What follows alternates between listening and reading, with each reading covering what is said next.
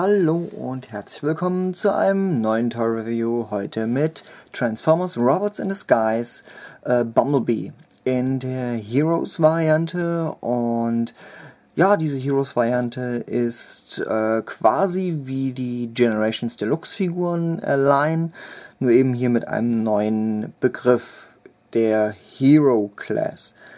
Ja, was äh, macht diese Figurenserie so besonders? Sie ist quasi die ähm, neue Art der Fernsehserie, die in Richtung Transformers Prime geht. Und ja, sie hat einige nette, interessante Features, die Figur. Ähm, unter anderem ist bei dieser Figurenline zum Beispiel dieser Sticker, der hier vorne dran ist, mit einem Code versehen, der in diesem Ring versteckt ist. Und es gibt eine App, die man runterladen kann uh, fürs Handy oder fürs Tablet. Und wenn man diese, diesen Ring jeweils scannt mit der Kamera, kann man quasi diesen Charakter in dem Spiel freischalten und dann quasi gegen die Gegner antreten und Decepticons einfangen. Ja, diese Figur selbst ist sehr nice, muss ich ganz ehrlich sagen.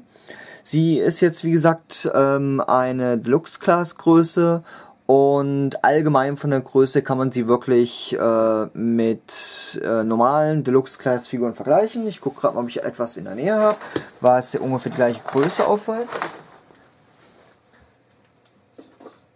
So, ich hatte hier zum Beispiel einmal den äh, Generations, ah, jetzt muss ich gerade mal überlegen, wie hieß er, äh, Cliffjumper hieß er, glaube ich, ich bin mir jetzt nicht ganz sicher. Ja, Asche über mein Haupt. Ähm, dann haben wir noch als Vergleich ähm, Movie 4 den Crosshairs. Also da seht ihr ungefähr mal, wie der Größenunterschied quasi ist. Also es ist wirklich Deluxe-Size Größe. Einfach nur klasse, die Figur auf jeden Fall. Und sie macht echt was her. Um jetzt einfach mal zur Figur zurückzukommen. Die Figur selbst. Äh, ja. Die Figur selbst ähm, wird, wie gesagt, äh, ziemlich ja, ziemlich, ziemlich einfach geliefert. Sie ist äh, eine Mischung aus den One-Step-Magics und den, äh, ja, den Flip and Change so in etwa. Und gleichzeitig der Generations Line. So, ich zeige euch das einfach mal. Diese Figur ist in sieben Schritten effektiv verwandelbar. Sehr einfach gehalten. Ähm, wie gesagt, es ist eine super geile Figur. Ich kann sie jedem empfehlen.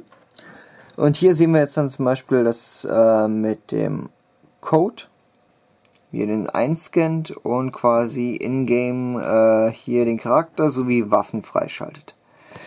Ja, ansonsten halt noch so ein bisschen Erklärung noch mit unten drunter. Vorne in der Verpackung wird er quasi in einer Blisterpackung geliefert mit seinem Energieschwert. Ja, und äh, ansonsten oben drauf haben wir noch das schöne Artwork mit seinem Energieschwert. Und ja, unten haben wir noch so ganz klein so einen Produktkatalog mit allen äh, drei weiteren Charakteren, Steeljaw, Grimlock und Strongarm. Vor allem Strongarm ist ein weiblicher Charakter, was sehr interessant ist, auch wenn er nicht so aussieht. Äh, so, um jetzt einfach mal zu der Figur zu kommen.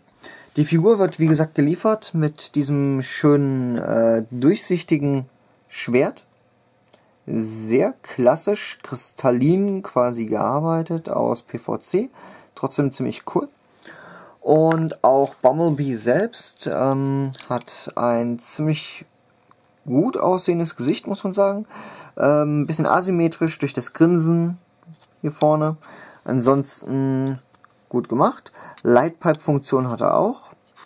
Und äh, ansonsten die Flügel, besser gesagt die Türen, ähm, haben hier hinten kleine Zahnräder drin. Und hier unten sind so kleine Zähnchen, die quasi ähm, das in Position halten. Das heißt also sehr, äh, ja, sehr stark befestigt, ist dadurch nicht einfach so, dass sie mal runterrutschen, ausleiern oder wie auch immer. Die Füße selbst äh, sind ziemlich schlicht gehalten, in der Bewegung ein wenig eingeschränkt durch hier hinten diese Scheiben, das heißt ineinander schieben ist wirklich schwer möglich. Ansonsten Bewegung, ähm, ja, man kann die äh, Knie quasi um ja, annähernd 90 Grad ähm, quasi anwinkeln, nicht ganz. Dann hat er noch ein Hüftgelenk ähm, und Oberschenkelgelenke. Hüftgelenk, wie gesagt, er kann die Hüfte auch drehen. Ähm, unten die Füße lassen sich nur oben nach unten anwinkeln. Die Arme selbst, wenn jetzt hinten die Türen zurückwinkt, kann man auch um 360 Grad drehen. Dann ganz normales Ellenbogengelenk, zur Seite drehbar, hoch, runter. Die Hände selbst sind fest. So, und die, äh, die, oder wie gesagt, der Kopf ist auf einem Balljoint. Lässt sich äh, ziemlich schwer drehen, muss ich dazu sagen. Liegt aber vielleicht an meiner Figur. Und ja, wie gesagt, die, das Schwert kann man ihm in die Hand geben. Sieht ziemlich freaky, awesome aus, muss ich sagen. Und ja, ich bin ganz froh, dass ich die Figur bekommen habe. Sie ist ab sofort im Handel erhältlich, ab Januar 2015. Und äh, sie liegt vom Preis her in etwa zwischen äh, 17,99 Euro und 21 Euro. Lohnt sich auf jeden Fall zuzuschlagen. Wie gesagt, vier Stück sind es momentan in der Wave 1 mit äh, also vier Charaktere in der Warriors Class Größe und kommen wir jetzt doch einfach mal zur Verwandlung. Wir haben jetzt hier einfach mal, weil die Figur natürlich auch im Robotermodus präsentiert wird, einfach jetzt mal angefangen mit dem Robotermodus und gehen jetzt in den Fahrzeugmodus über. Der Fahrzeugmodus ist ziemlich simpel. Ihr klappt einmal hier unten die Füße nach oben. Dann drückt ihr die Beine hier unten zusammen.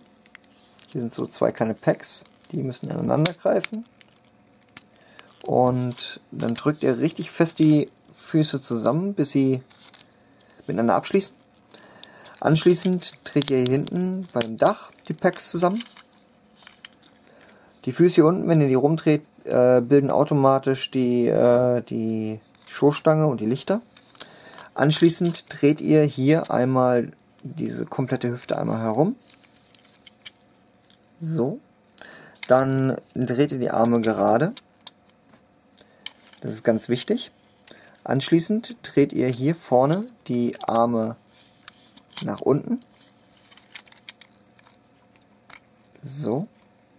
Die Figur greift quasi hier unten mit den Händen in, ähm, ja, in, in so ein, wie so eine kleine Zwischenwand.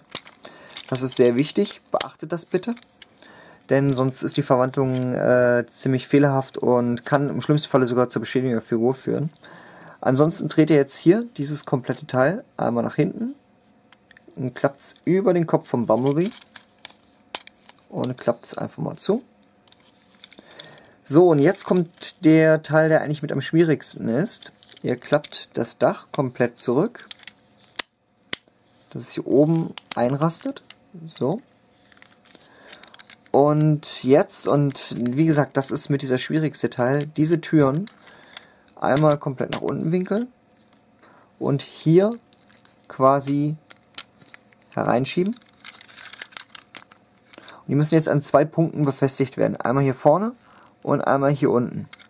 Das heißt, ihr schiebt sie hier einfach rein und zieht sie hier nach außen und drückt sie hier gleichzeitig rein. So. Aufpassen, dass das Dach richtig äh, miteinander verbunden ist. Das gleiche macht ihr hier. Einmal hier rein, hier befestigen und schon habt ihr Bumblebee in seinem Fahrzeugmodus. Sehr einfach gehalten. Äh, ich finde, hier fehlen äh, ein bisschen die Paint Jobs. Finde ich ein bisschen schade. Hier hätten wir vielleicht rote Lichter. Sehr gut gepasst. Hätte der Figur einen deutlich geileren Touch gegeben. Die Räder ähm, sind komplett in schwarz gehalten, in einem Guss ohne Bemalung. Finde ich ein bisschen schade. Hier hätten auch silberne Paintjobs oder blaue Paintjobs deutlich besser gepasst. Aber ansonsten ist diese Figur gegenüber des Camaros oder äh, der ja, Sportcar, ich weiß nicht welches Car es war, ich glaube auch ein Camaro äh, aus der Prime Line, auf jeden Fall ebenwürdig. Diese Figur selbst ist sehr bulky, sehr eckig, sehr kantig, aber das tut ihm keinen Abbruch absolut super geile Figur. Hier hinten sehen wir nochmal das Autobot-Symbol. Ähm, hier kannst du mal so rumdrehen. Äh, das sieht man also einwandfrei. Finde ich super. Ähm, ansonsten das Schwert hat auch die Möglichkeit hier unten zu befestigen. Hier sind zwei Pins und hier sind zwei Schlitze jeweils drin. Das heißt, ihr steckt ganz einfach das Schwert so dran und schon könnt ihr es unter dem Fahrzeug befestigen. So, dann habt ihr hier gleichzeitig einen Auspuff. Und ja, er rollt ziemlich gut, trotz Schwert. Finde ich super, absolut gelungen. Und wenn ihr jetzt mal die Figur im Vergleich seht, Fahrzeug zu Roboter, es passt. Absolut. Und auch die Größenverhältnisse passen perfekt zueinander. Gefällt mir auf jeden Fall. Ja, ich verwandle die Figur jetzt einfach nochmal zurück. Ganz einfach. Schwert entfernen. Türen hier unten lösen. So. Hier ist gleich nochmal. Am besten, ähm, ja, drückt ihr hier das, ähm, die Motorhaube nach oben und hier nach oben und drückt gleichzeitig die Tür nach unten und schon habt ihr es gelöst. Ist einfach der einfachste Weg. Dreht ihr es einfach nach unten das ganze Rückenmodul quasi. Anschließend dreht ihr die Scheiben nach vorne. Dieses komplette Rückenmodul nach hinten, dann nach unten winkeln, die Arme nach oben drehen, den kompletten Torso einmal drehen und die Beine unten nach unten drehen. Dann separieren voneinander und schon haben wir wieder Bumblebee verwandelt. So. Das war's dann auch heute für den, äh, oder gesagt, das Review von Bumblebee.